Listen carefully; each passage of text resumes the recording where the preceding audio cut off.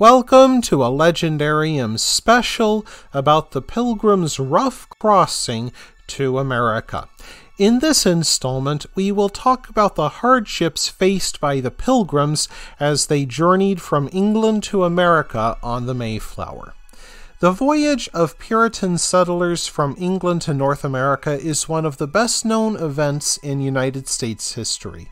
While the year 1620 is recorded as the date of their departure, it began in 1608.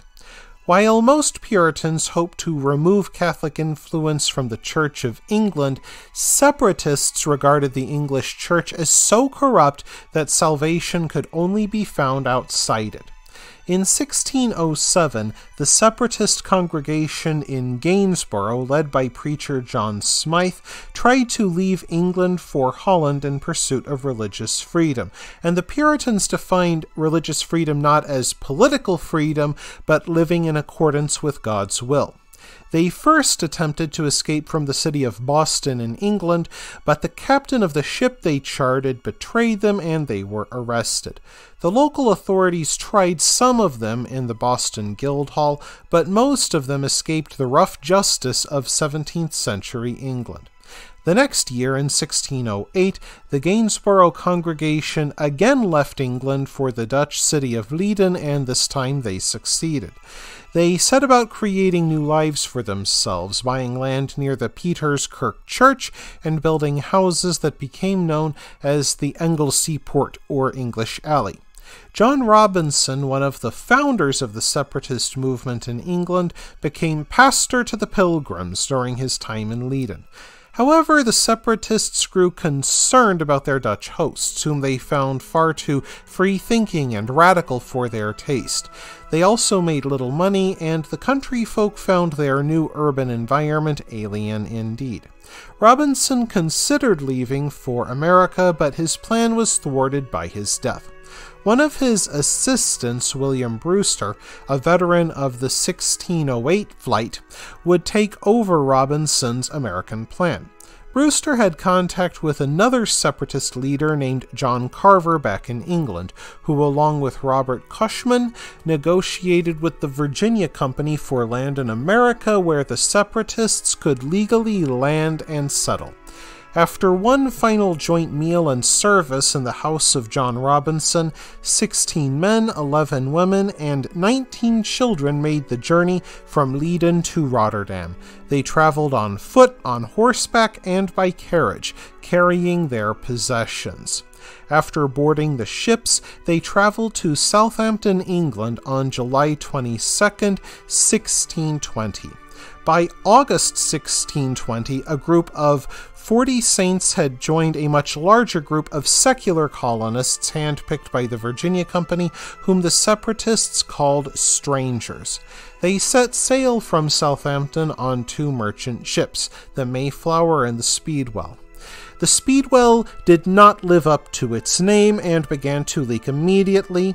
The ships headed back to port, and all the travelers squeezed themselves and their belongings onto the Mayflower, a cargo ship about 80 feet long and 24 feet wide, able to carry 180 tons of cargo. Christopher Jones served as her captain. Because of the delay caused by the Speedwell, the Mayflower crossed the Atlantic at the peak of storm seas, and unsurprisingly, their journey proved horribly unpleasant. The Mayflower, like other 17th century merchant ships, was a cargo vessel designed to haul lumber, fish, and casks of French wine, but not passengers. Its square rigging and high castle like compartments helped during short trips along the European coastline, but when the Mayflower's bulky design went into the strong westerly winds of the North Atlantic, it was often blown backwards, which meant the pilgrim's journey in the crowded, cold, and damp ship was all the longer. These storms could blow them backwards for hours, if not days, at a time. Many of the passengers became so seasick that they could barely stand up. As more and more of the pilgrims threw up in the hold, some of the sailors took to taunting them for their weak bellies. The waves became so rough that they swept one of the strangers overboard. Pilgrim leader William Bradford later described this as the just hand of God upon him, for he had been a proud and very profane young man.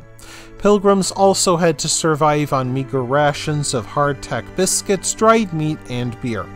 Remarkably, of the 102 passengers on the Mayflower, including three pregnant women and more than a dozen children, only one person died. Indeed, one of the pregnant women gave birth in the rocking ship and named her son Oceanus. After 66 miserable days at sea, the ship finally reached the New World. There, the Mayflower's passengers found an abandoned Indian village and not much else. That Indian village had been emptied by a plague brought by previous European explorers. On top of that, the pilgrims also realized that they landed in the wrong place.